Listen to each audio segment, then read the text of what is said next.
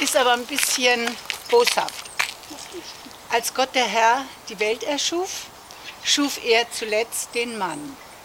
Dies zeigte klar und deutlich an, dass er doch schon recht müde war.